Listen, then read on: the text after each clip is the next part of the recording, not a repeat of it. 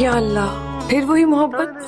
गुजरे ना दिन रैन हमारे। शामें ले गए हो हमेशा उदास होती हैं। आप शायद फिर बहकने की तैयारी कर रहे हैं। तो फिर खुश आमदीद का होना मुझे डर लगता है।